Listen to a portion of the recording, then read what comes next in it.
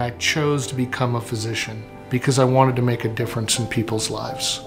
Recently, I had two different patients, and both needed life saving procedures. When requesting a transfer to a center in their home states, one's in California, one's in Oregon, the insurance medical directors I spoke with said they would not cover the life saving procedure that we'd requested.